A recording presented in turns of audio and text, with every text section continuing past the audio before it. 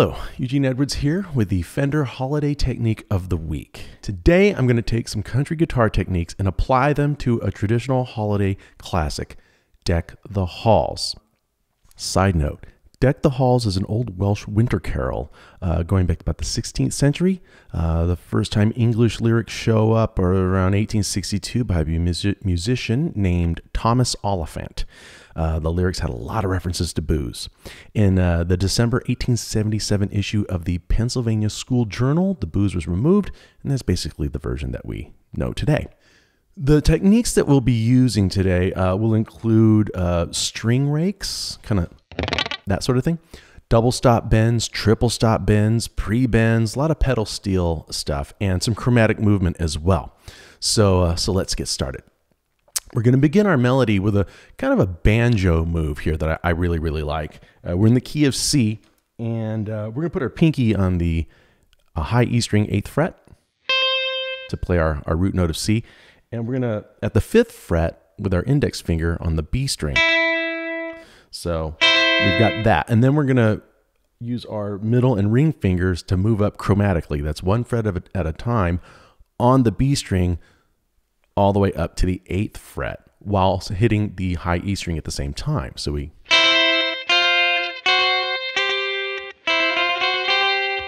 So this emulates a banjo kind of kind of thing, and um, you can apply it to anything really uh, to countrify any given chord. Just got to know what chord you're on, find that root as your high note, and then kind of walk up on that B string. So that's how we start this. And then we just play our single note melody. And then I do a double stop bend. Now, this is going to emulate a pedal steel move. On the seventh fret of the G string with my ring finger, sixth fret of the B string with my middle finger. Um, then I'm going to have them pre bent, kind of. Um, uh, kind of half step ish. Then I'm going to strike them with my strum hand, and we're going to hear them bend down like that. Then it resolves in the fifth fret, both the G and B strings. Now we can apply this to any melody. The note is moving from the third degree to the first degree. In this case, E to C. You know, uh, uh,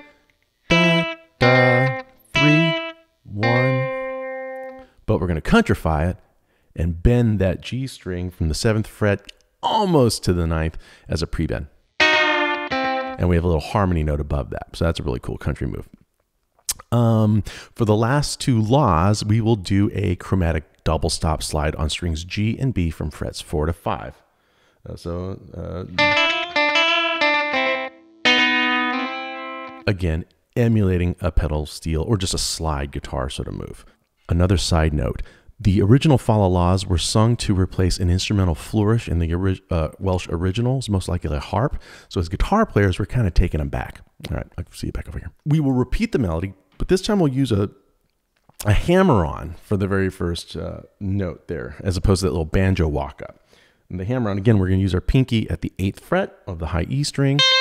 And we're going to hammer on the B string from sixth fret to eighth fret using our index finger and our ring finger. Again, striking both strings at the same time. So this is yet another way to kind of countrify a move if the melody is on the fifth degree of the chord, basically. Uh, instead of just hearing, we can go. And then again, we'll do that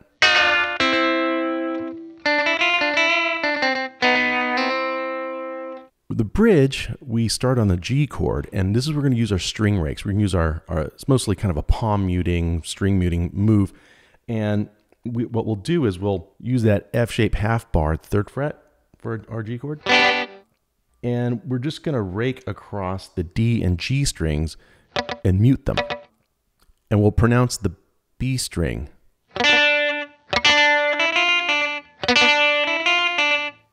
And I'm doing a hybrid I hold my pick kind of in this this that way I can I can use these two fingers to pluck to really pull up on a string if I really want to get a little kind of spanky twangy thing. Um, but in this case, I'd use the pick the whole time. And then I'll do um, uh, kind of a double stopped again. Then over the A major chord at the fifth fret, that half bar F shape, I'll do my string rakes again. Then an A shape kind of triad over the D chord at the fifth fret. Another string rake, but then I'm going to pronounce my highest string. And then a really cool double stop pedal steel bend sort of thing on strings G and high E. Have the at the sixth fret using your ring finger and pinky, and have them pre-bent half a step. So again, we already have them bent before we strike them with our strum hands. And what we want to emulate is, but it's a little cooler when we have that pre-bend. So that bridge put together is.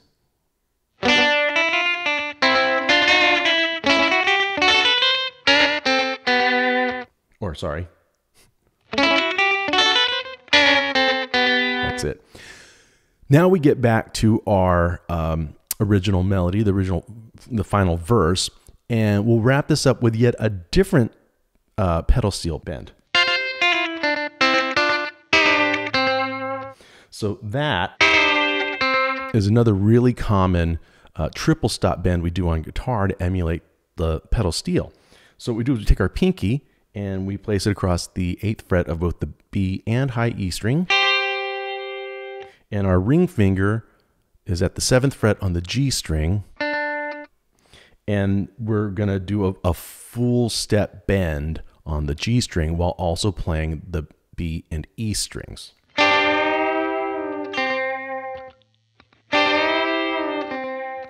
Um, and again, we can always do this whenever our melody is approaching or just on the third degree uh, of, of any chord. In this case, we're on, the, on our C chord and we want to hear the E natural note, which would normally be played the ninth fret of the G string. But we're going to bend up to that guy and then bend back out of them and resolve at the fifth fret of our G string, which is our root note.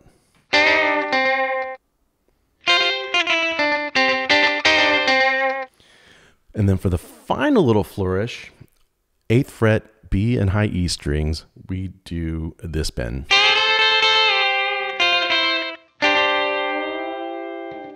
So this is, again, B and E strings, eighth fret. The high E string stays stationary while we bend all the way up a full step on the uh, B string from fret 8, kind of bending up to fret 10, if you will. Give a little bit of a shake there, and then play the rest of the melody, but maintain the pinky on the eighth fret of the E string. Then that triple stop bend. So that's how we use classic honky tonk uh, guitar techniques to countrify a beloved holiday classic. Try and use some of these techniques uh, to another holiday song of your choosing. There's a holiday playlist on the Fender Play site. And uh, what's most important is to have fun with it. Thanks for watching, and thanks uh, to all the jolly elves at Fender for letting me join in the holiday fun and frolic. See you on the next one.